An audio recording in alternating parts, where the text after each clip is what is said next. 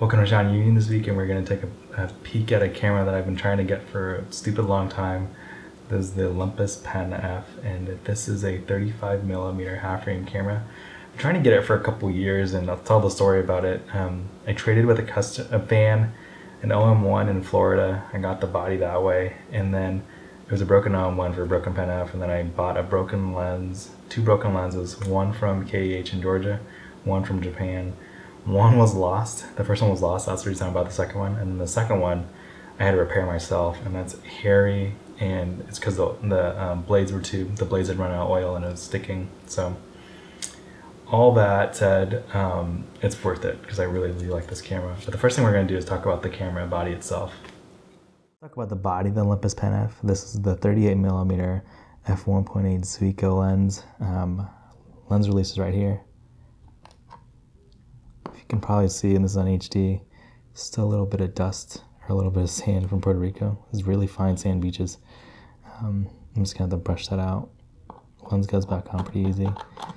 Line up the red dots, this dot, and that dot. Spin to the left. On the lens itself, you're gonna see aperture rings right there. 1.8 to 22, not bad. Um, focusing distance is right there.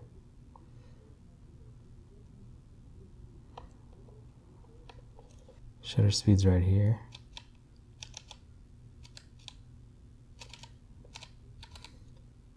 On the top, serial number. Then you're gonna see this is the um, shutter. This is this is the shutter release. Sorry, the frame counter. No hot shoe, which I prefer. Rewind release. Rewind lever and the rewind release. You're gonna pull up on this, but I have live film in there, so I'm not going to do that. Here's the double stroke mechanism. So you go once and then twice to um, advance the foam and, and, to cock the shutter. Um, the viewfinder, you see that it's vertical. Here's the viewfinder, you see that it's vertical. And if you look, if you take out the lens again, you'll see that this camera is able to be half frame because this is vertical um, on a normal 35 millimeter. Probably looks a little bit more horizontal, takes up the full frame, but you get two small vertical images in the space you get one um, vertical image. Pretty cool pretty cool trick pretty cool trick. I'm surprised that most people don't do it on the bottom. Going to see the film rewind release made in marks hot shoe and then if you're wondering what this strap is um, this is a Gordy's camera strap they're a little bit overpriced, but I don't think they're overpriced now because I've had this for so long. No issues with it whatsoever. Held up perfectly, and um, I think it's like 20 or 30 bucks, but really good. Just a really good deal on these. They're not hard to make. You can figure out how to make them pretty easy, but if you don't have the time, um, you can purchase it from Gordy's.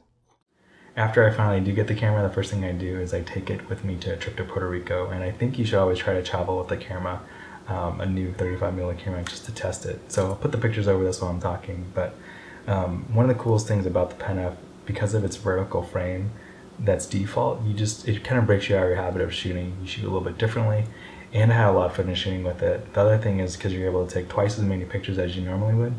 I just wasn't as worried about going through a roll of film. So um, I got three rolls of film there, two color, I think two black and white and one color, and then there's still some film in this one and I was able to take about um, close to 200 pictures um, on this trip, and just and that's on three rolls. So, thinking about saving money on shooting film, buying a half frame camera is going to save you a lot of money in the long run.